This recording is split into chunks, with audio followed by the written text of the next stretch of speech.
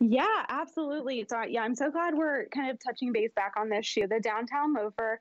As you can see here, not only is this style so chic and timeless, I mean, you can't go wrong with a slip-on loafer, but on top of that, as you can see demonstrated, uh, like so flexible. This is going to keep you all day. You can wear this to work.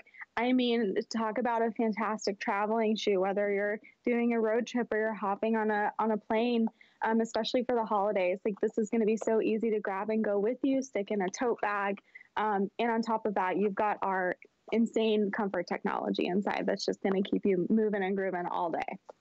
Uh, $56 LifeStride loafer on sale clearance day for $39.99. And when we say flexible, like ultra, ultra flexible. I mean, it goes with um, the way that your foot functions. We have, again, I always show the bottom of the shoe. The one in my hand right now is the one that we're calling Clay Multi. So this is that plaid design with the clay, with the black, with the little um, nice little stitching that's in there in that loafer silhouette that again is very classy, timeless. It doesn't matter what era you're wearing it in. It always goes with everything that you own. We also have it available in my obvious favorite, in the camo, a camo loafer. You don't have a cam camo loafer. I know you don't. This is the time to get it. This is time to get something outside your wheelhouse.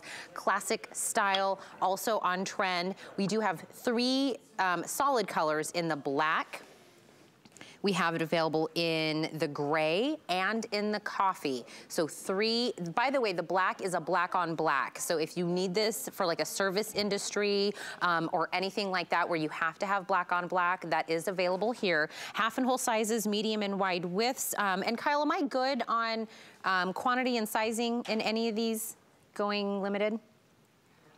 I think we're still good. This was the most popular shoe of uh, the hour, Melanie. This is why I want to bring it back and get some eyes on it. If some people are just getting up and still rocking and rolling and turning on and they're like, was, you know, what was the shoe that everybody gravitated to this morning? This was it um, by far. And I think it's just because we love a loafer because it, it's transitional no matter what the season, no matter what the year, no matter what the outfit. But then you gave us a little bit of like oomph with the camo and uh, the plaid.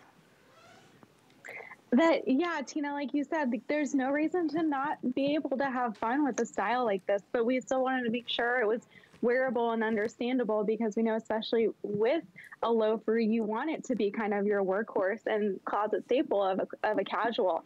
And so and i love that you called out to